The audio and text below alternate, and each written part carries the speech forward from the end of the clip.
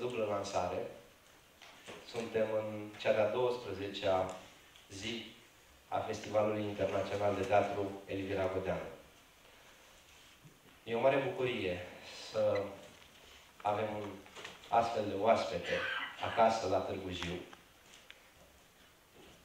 Vorbim de o dublă lansare, volumul de versuri, poezii și vorbe în vânt și o poveste cam ciudată și alte două povestiri. În foaierul teatrului găsiți și volumul Tehomir, un volum pe care noi am reușit să-l lansăm acum un an și ceva la Târgu Jiu. Un volum tare drag prietenului nostru, Horațiu Măleie.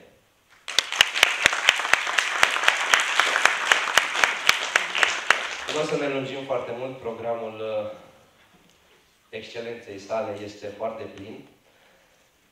Așa că, pentru momentele următoare, îl invit uh, pe scenă alături de noi să ne spună câteva cuvinte despre autorul care lansează astăzi cele două volume, pe poetul gorjean Spiridon Popescu. Este o mare bucurie să mă aflu aici, alături de unul dintre cei mai mari actori pe care i-a dat România până în prezent.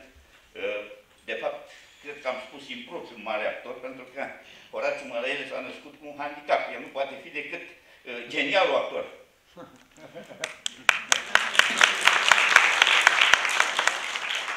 L-am cunoscut prin anii 70, când cenacul Columna era într-adevăr un cenacul adevărat, un cenacul care, uh, la care te duceai cum te duci la biserică. Deci uh, era imposibil să pierzi o ședință, erau ședințe furtunoase.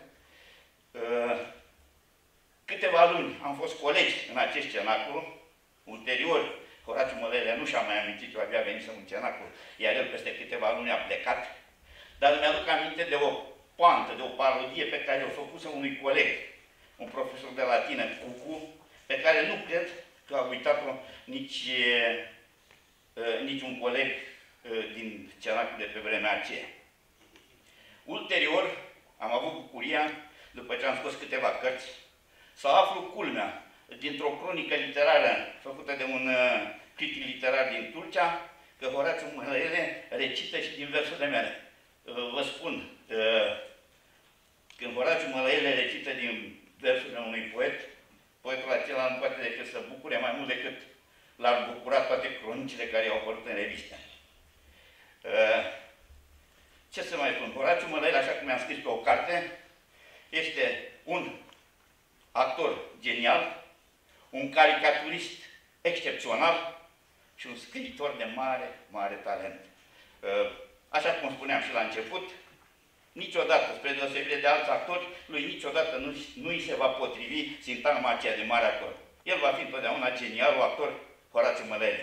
Mă bucur că există și că sunt contemporan cu el. Mulțumesc!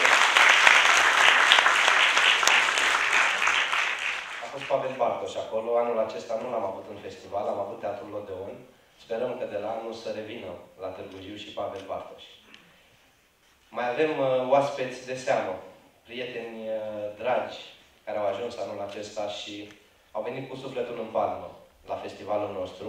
L-am aplaudat uh, puțin mai devreme. Acum o să-l invit să spună câteva cuvinte despre prietenul domniei sale, domnul Nicu Alifantis.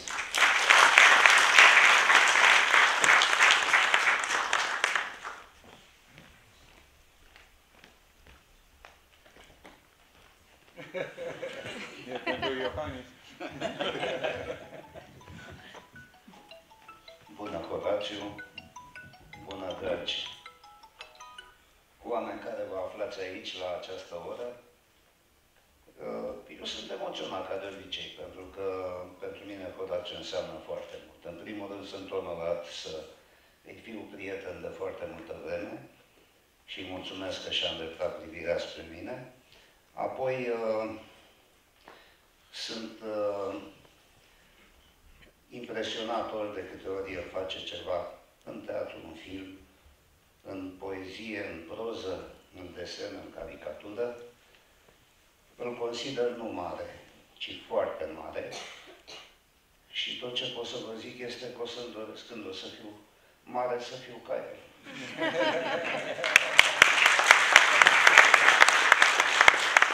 Așa că, dragă Horaciu, te iubesc și te pup de nu te vezi. Îți mulțumesc pentru tot ce faci. Uh, iar vouă vă doresc din tot sufletul să iubiți, să respectați, pentru că este al vostru. Și lucrul ăsta este cel mai important. Și să nu plecați de aici fără cărțile astea. Sunt geniale. Vă mulțumesc tare mult. Și acum uh, îmi revine deosebita bucurie, plăcere, să-l invit în fața dumneavoastră pe autorul volumelor pe care îl lansăm astăzi la Târgu Jiu. Un om care vine acasă de fiecare dată la Târgu Jiu, susține instituția noastră, susține activitatea Teatrului Dramatic Elvira Godeanu din Târgu Jiu. Un prieten adevărat, un artist de excepție, Horațiu Măleene. Bună dimineața, așa cum se spune. O zi bună, dragi prieteni. Uh, trebuie să vă mărturisesc că trăiesc o emoție și o bucurie multiformă. Uh, pentru că mă aflu, în primul rând, pentru că mă aflu la Târgu Jiu, uh, orașul în care mi-am plimbat copilăria și adolescența, pentru că mă aflu în această sală în care debutam acum aproape 65 de ani, cu o poezie în țara lui Mură în Gură, și unde am avut un real succes, care probabil m-a încurajat mai târziu, pentru că mă aflu în preajma unor uh, oameni excepționali care scriu istoria poeziei, cum e Spiridon Popescu, care scriu istoria muzicii, cum e domnul Alifantis, uh, și care fac istorie în acest teatru excepțional care este Teatrul Elvira Godeanu, care adăpostește asemenea evenimente, nu acesta neapărat din această dimineață, cum spunem, dar uh, acela, acelui, acestui festival uh, extrem de deștept, extrem de spiritual, pentru că uh, spunem într-un interviu odată mai de mult, acolo unde există teatru, există spirit, acolo unde există o biserică, există Dumnezeu. Uh, deci pentru toate lucrurile astea uh, vă mulțumesc. Faptul că sunt alături de dumneavoastră, faptul că în sală se află, uh, cum se spun, se află conducerea liceului pe care l-am terminat cu greu, dar am terminat. dar uh, încă o dată mulțumesc acestui liceu pentru că este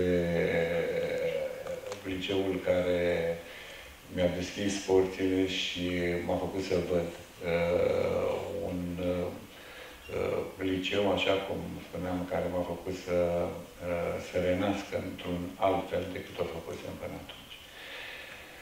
Uh, ce să vă spun, cele două cărți uh, sunt niște cărți, uh, niște cărți pe care le iubesc tare mult, pentru că Părerea mea pentru un scriitor, orice carte este un semn autobiografic și totodată este o concluzie a obsesiilor, a fericirilor și a durerilor lui.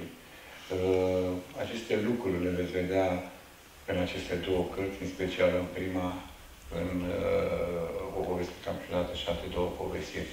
Cea de-a doua, poezii și vorbe în vânt, este o aglomerare ordonată, uh, bine ordonată de cei de la Bogzon, despre obsesiile mele, despre poeziile mele, poeziile mele și așa mai departe. Acum când vorbea Stiridon Popescu, acest imens, imens, imens, și o mai spun atât, imens poet uh, pe care îl conține România, de azi și din totdeauna, de-a lungul și de-a latul, uh, uh, mi-am adus aminte de o poezie, de o mică poezie pe care am făcut-o și eu, mă rog, în epigonismul meu, cu două, cu două cărți uh, în stânga și în dreapta un bidon, deschise ușa în rai, Popescu Spiridon, că însuși Dumnezeu, văzând această carne, scuipă în vânt și zise încet, ajută, Doamne! O să vă, o să permit totuși să spun câteva lucruri, câteva poezii din această carte de poezii și vorbe în vânt. Uh, cealaltă carte o las la îndemână să o citiți. Eu cred că este o, uh, e un lucru îmbogățitor și totodată uh, subliniez și ceea ce spunea prietenul meu Iani, mi-aș dori să citiți prima mea întâmplare în ale scrisului, care s-a numit Tehomir, o carte imaginată, dar cu accente autobiografice, care vorbește despre un Tehomir existent, undeva la mijlocul drumului dintre Târgu Jiu și Severin, unde am copilărit, într-un anume fel, într-o zodie nebună și ciudată, și o carte care vorbește într-un anume fel despre destinul meu și poate de destinul dumneavoastră, citiți-o, pentru că e un eveniment și un lucru care m-a bucurat foarte mult atunci când a trebuit și chiar și acum. Am să vă spun din această a doua carte poezie și vorbe în vânt, o poezie a împăcării, de fiva supărarea ta, de fiva supărarea ta, un punct în zare, această perspectivă mă miră și mă doare, de fiva supărarea ta un pumn de cuie, această răstignire mă moare și mă suie, de fiva supărarea ta pernă de pat, pe care somnul-ți stă culcat, de fiva ea așa cum pare o mică sau mai mare supărare, tu află mândra mea poveste, că dacă totul e trecător, și asta este, de Horaciu.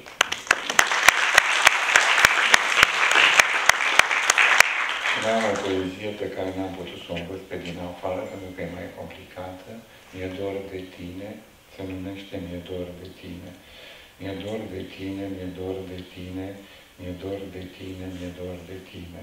Mi-e dor de tine, mi-e dor de tine, mi-e dor de tine, mi-e dor de tine, mi-e dor de tine. Și se termină, mi-e dor de tine.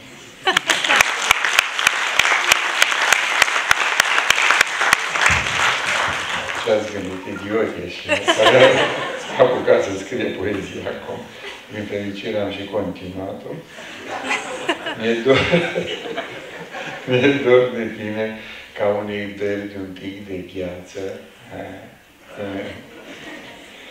ca unei Londre, ca unui mor de o leacă viață, ca unei Londre de o ceață, ca unui do, do, mi fa sol la si do, ca unui do de o cântăreață, ca unui act de un pic de ață, ca unei cărți de o prefață, ca unei pușcării de o hoață, ca unui mic scandal de o țață, și iarăși, pentru a câta oară, ca unui eschimos de o portocală, ca unui tren de o mică gară, ca unui pepene de o vară, ca unui pesimist de o cioară, ca unui azi de o dinioară.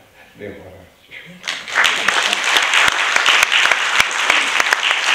Spuneam și una pandemică, hai să fugim în lume, fără a ști încotro, să prindem fluturi albi și mov și rococo, să o rupem cu trecutul, să oinărim haihui bolnav de fericire, copii ai nimănui, ca dintr-o groapă adâncă, un sunet ca o coasă îngenunchează visul. Oraciu, treci în casă.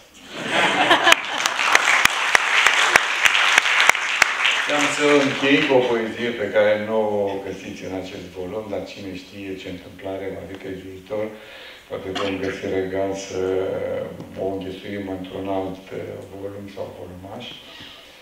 Se numește Cândva, Cândva, pentru că tot a apărut în zona de socializare, că m-aș fi plecat de o vreme bună, de câteva săptămâni.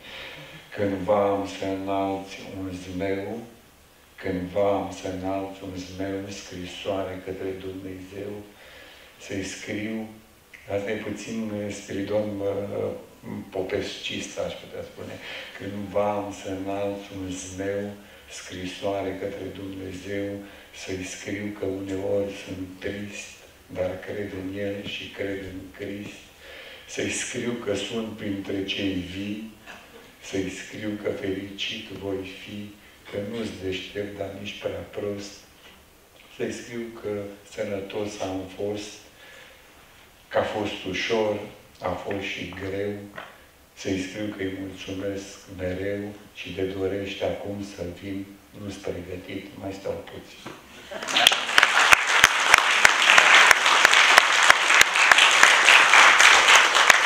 Cam asta este, dacă veți găsi de cuvință, puteți să luați aceste cărți. Eu vă aștept aici, în această măsuță, împreună cu domnul Ian Nicăbaci, pentru uh, o sesiune de autografe. Vă mulțumesc!